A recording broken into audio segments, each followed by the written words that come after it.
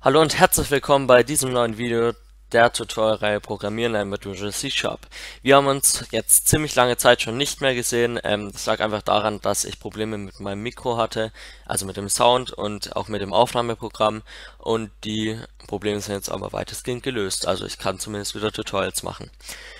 So, ich habe ja letzt, im letzten Video gesagt, dass wir heute mit der Objektorientierung anfangen. Ähm, wir fangen heute zwar indirekt mit der Objektorientierung an, aber wir gehen erst ein kleines Unterthema an. Ähm, es liegt einfach daran, dass die Objektorientierung zu umfangreich ist, als sie in einem ja, 20-30-minütigen Video vorzustellen.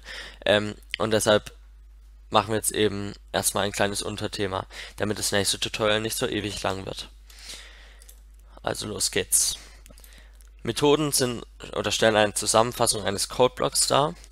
Ähm, und in der Objektorientierung, das nehme ich jetzt mal vorweg schon, geht es eben darum, ähm, alles realitätsnah oder möglichst realitätsnah im Code wiederzugeben und dabei gibt es eben Objekte, auf denen Aktionen ausgeführt werden können und genau diese Aktionen oder Aufgaben übernehmen die Methoden.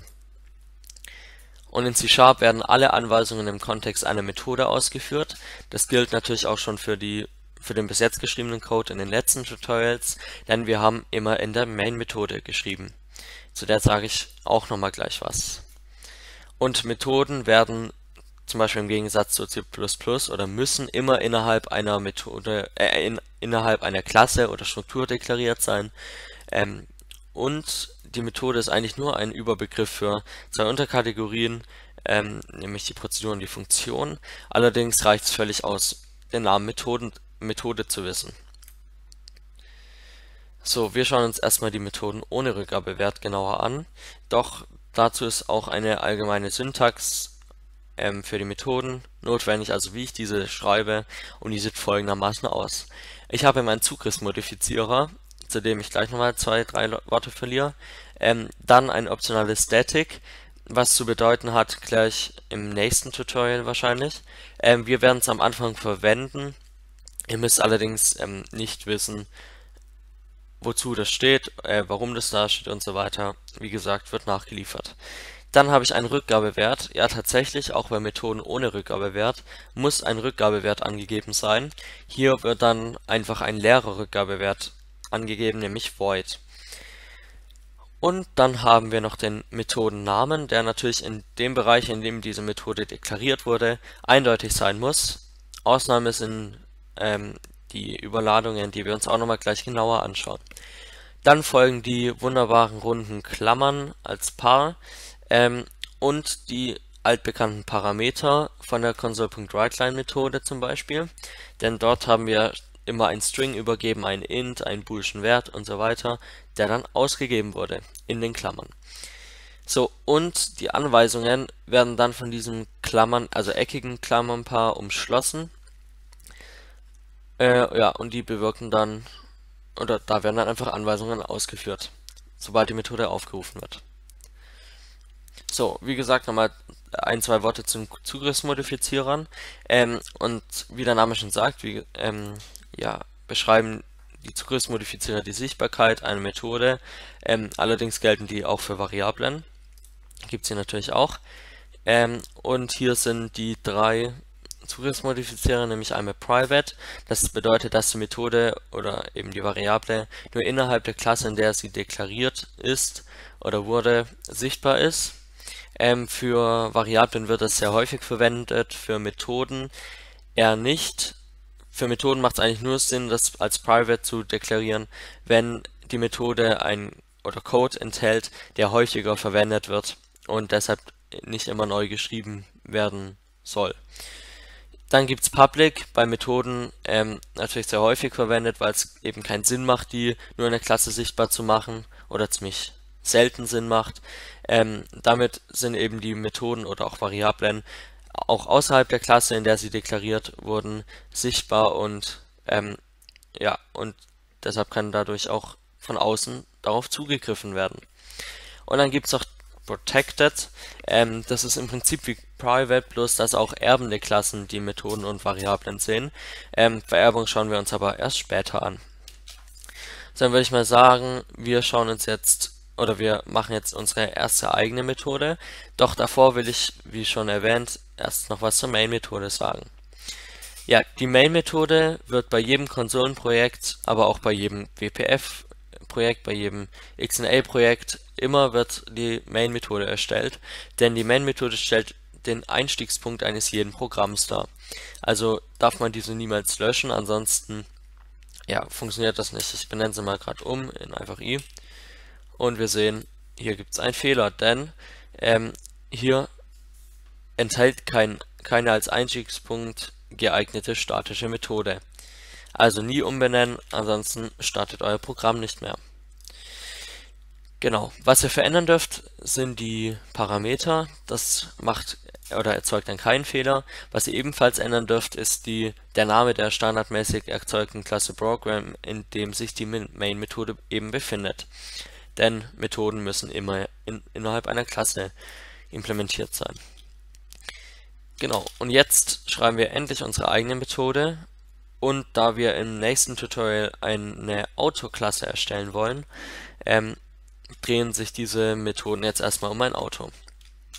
Wir nehmen hier den Zugriffsmodifizierer private, ähm, dann das static, was ich später noch erklären werde, void und dann machen wir erst eine Methode stop, die das Auto eben anhält. Und wir realisieren erstmal dieses Stoppen mit einer einfachen Konsolenausgabe. Ähm, also console.writeline und dann die aktuelle Geschwindigkeit, äh, aktuelle, aktuelle Geschwindigkeit beträgt 0 km/h. Also eine ganz einfache Methode mit einer einzigen ähm, Anweisung. Macht natürlich auch ziemlich wenig Sinn, aber für den Anfang reicht es erstmal. So, und wie rufe ich jetzt diese Methode auf?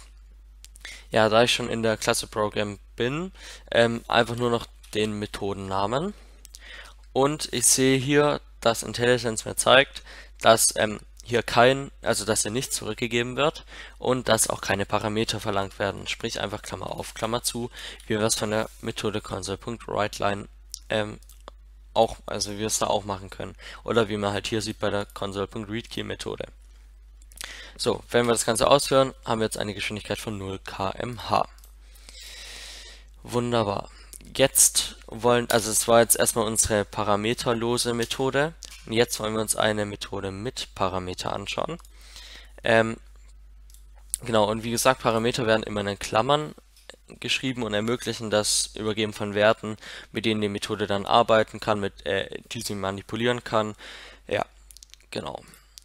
Und die Syntax, die ich in ähm, meinen Klammern verwenden muss, sieht folgendermaßen aus. Ich brauche natürlich einen Typ ähm, des Wertes, sprich int, string, bool, ähm, double, was auch immer, und dann einen Namen für den für den für den Parameter ähm, Genau, und dieser Name gilt dann intern in der Methode. Ja, Parameter sind natürlich nur innerhalb der Methode sichtbar, ähm, genauso wie Variablen, die innerhalb der Methode deklariert werden, die verfallen dann auch nach Methodenablauf. Also sind, darauf kann man dann einfach nicht mehr zugreifen. Ähm, es ist natürlich auch noch möglich, mehrere, ähm, mehrere Parameter zu übergeben. Ähm, die trennt man dann mit einem Komma. Genau. Ähm, so. Und unsere mit erste Methode mit Parameter soll einfach beschleunigen auf heißen.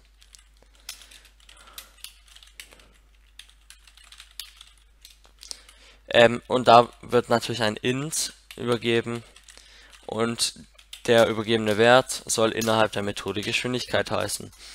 Und mit diesem Wert, der jetzt übergeben wird, kann ich eben arbeiten. Jetzt gebe ich einfach hier, also ich mache mal Copy and Paste. Es ist so eine schöne Erfindung. Und dann kann ich eben sagen, plus jetzt Geschwindigkeit plus kmh. Also ich verwende die Methode, äh, den, den Parameter jetzt einfach in der console.writeLine-Methode und gebe damit die aktuelle Geschwindigkeit aus. Ähm, beziehungsweise wollen wir auch noch eine kleine Ausgabe, dass es erstmal beschleunigt wird natürlich. Ähm, es wird auf plus Geschwindigkeit äh, Geschwindigkeit plus kmh beschleunigt. Und dann machen wir einfach noch eine Pause rein. Eine Pause kriegt ihr hin durch ähm, thread.sleep, das ist einfach eine Methode aus einer statischen Klasse. Und dazu müsst ihr aber erst ein neues Using Statement hinzufügen, nämlich äh, using system.reading. Ähm, ja, dazu geht ihr hier einfach, upsa, ich habe es natürlich falsch geschrieben. Dazu geht ihr einfach auf die Thread-Klasse und ähm, dann erscheint dieses Ding hier. Ähm, und dann macht ihr einfach diese eckigen Klammern und das grüne Plus using system.threading. Und in der Sleep-Methode kann ich jetzt ein int übergeben, wie viel Millisekunden gewartet werden soll. Das sind hier einfach mal 2000. Und dann erfolgt erst die nächste Ausgabe. Ähm, ja, okay, ist vielleicht ein bisschen schnell für eine Beschleunigung, ein bisschen kurze Zeit, aber was soll's. So, und diese Methode rufe ich jetzt ganz mal auf mit dem kleinen Unterschied, wie wir schon von console.writeline kennen, dass wir einen Parameter übergeben, der da heißt Geschwindigkeit und vom Typ int ist, wie uns IntelliSense netterweise verrät. So, ich kann jetzt entweder direkt einen int geben, äh, übergeben, das heißt jetzt einfach mal 30 km/h zum Beispiel, ähm, das ist jetzt einfach standardmäßig eine int in C-Sharp, das kennt ihr ja schon, oder ich nehme mir eine ähm, Variable vom Typ int, int g, und dann initialisiere ich sie gleich auf 30. Und dann übergebe ich hier eben keinen direkten int, sondern g. Wenn wir das Ganze starten, dann seht ihr, genau, äh, erst die aktuelle Geschwindigkeit beträgt 0 km/h, dann wird sofort 30, es wird auf 30 km/h beschleunigt ausgegeben und dann wartet das Ganze 2 Sekunden, bis die nächste Ausgabe erfolgt. Und der Vollständigkeit halber machen wir einfach mal noch ein Stopp dahinter, damit das Auto am Schluss auch wieder steht. So. Wunderbar. Ähm, gut, jetzt haben wir schon Methoden mit Parametern angeschaut. Jetzt wollen wir uns die sogenannten Überladungen anschauen.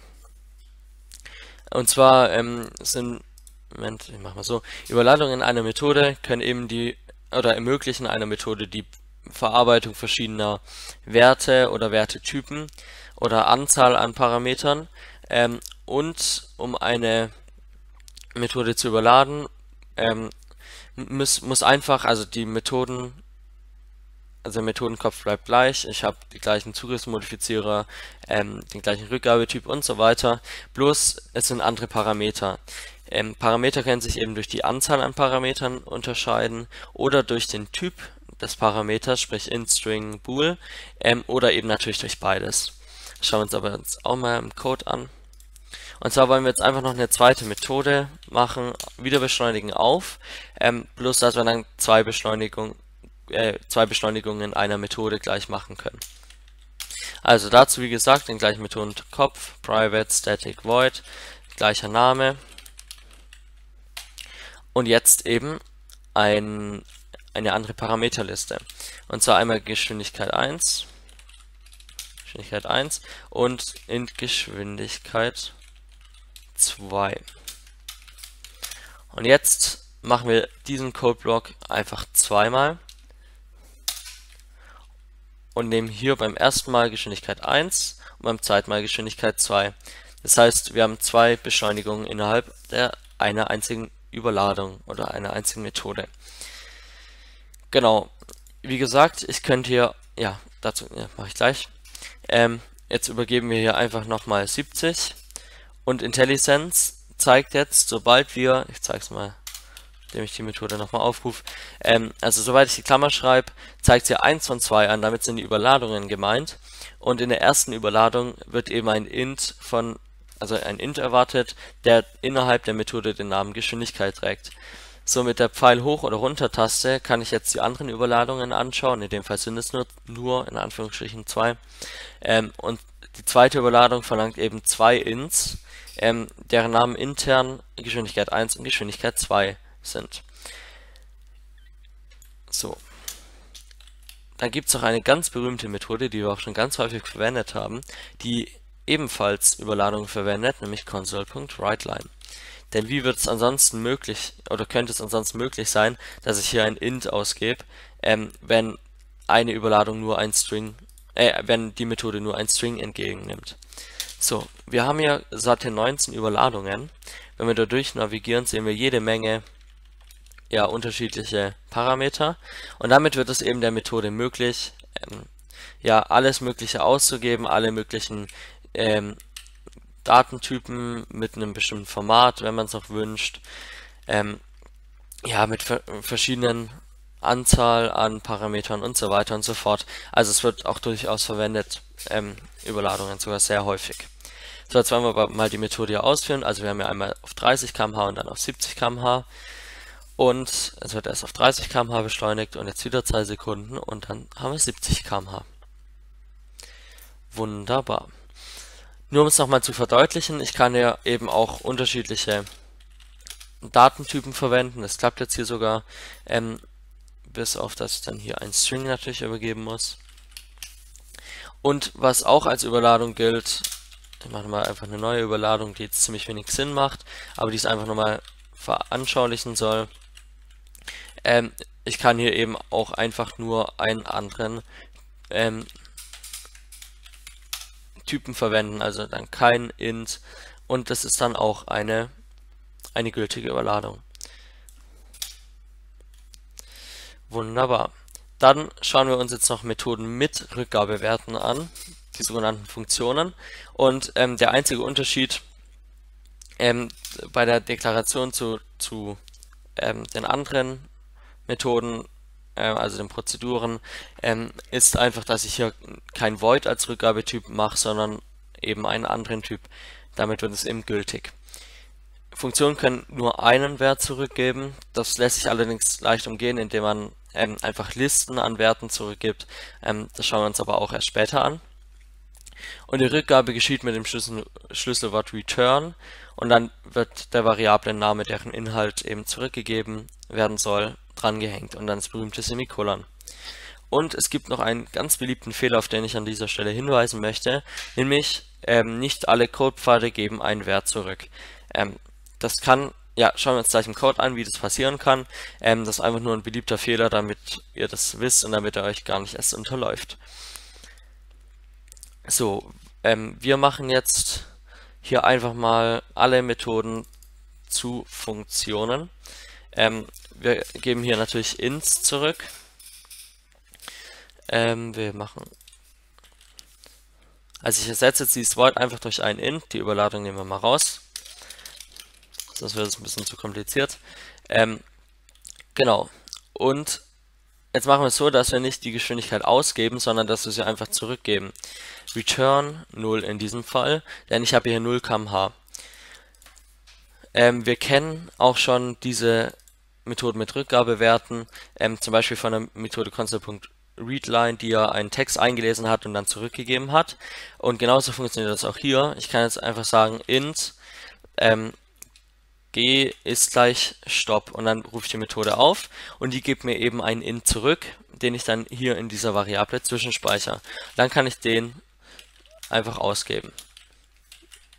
Also nur als Beispiel. Genau.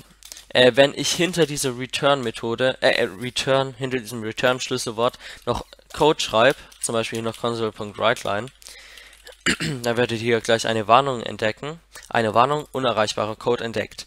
Ähm, dieser Code ist deshalb unerreichbar, da die Methode nach dem Return-Schlüsselwort beendet wurde. So, wir machen jetzt noch hier kurz dasselbe. Wir geben hier einfach die Geschwindigkeit zurück. Das macht jetzt ziemlich wenig Sinn, weil ich übergebe es ja erst ähm, und dann gebe ich sie in der Methode zurück. Aber es soll jetzt einfach nur mal das Ganze ein bisschen veranschaulichen. int i ist gleich beschleunigen auf. Und wir haben nur noch eine Überladung. Wir übergeben hier einfach mal 70 kmh. dann können wir das auch nochmal ausgeben. Ähm, ja, i. Und was natürlich auch geht, das haben wir auch schon verwendet, ich kann auch innerhalb der Methode console.writeline diese, also in, in, dem Parameter, in der Parameterliste auch diese Methode aufrufen, zum Beispiel stop, denn die gibt ja ein int zurück. und ähm, den kann ich, kann ich ausgeben. Das heißt, es ist so, als ob würde ich hier eine Variable reinschreiben. Also i zum Beispiel. Und dann habe ich hier 0, 70, 0. Wunderbar. So, jetzt noch zu diesem kleinen beliebten Fehlerchen. Und zwar ähm, hat es ziemlich häufig was mit if-Abfragen zu tun. Wenn ich hier jetzt noch einen boolschen Wert reinmache, ähm, zum Beispiel einfach richtig, dann übergebe ich hier false. Upsa. False. So, und dann sage ich if richtig. Also wenn richtig true ist, dann gebe ich ähm, die Geschwindigkeit zurück. So, und was ist, wenn richtig nicht true ist? Dann passiert nämlich gar nichts, dann gebe ich gar keinen Wert zurück. Ähm, und hier seht ihr auch schon den Fehler, nicht alle Codepfade geben einen Wert zurück. Denn wenn true nicht, äh, wenn richtig nicht richtig ist, das hört sich jetzt ein bisschen bescheuert an, also wenn richtig nicht true ist, dann äh, wird auch nichts zurückgegeben und die Methode wird ohne etwas zurückgegeben be äh, beendet.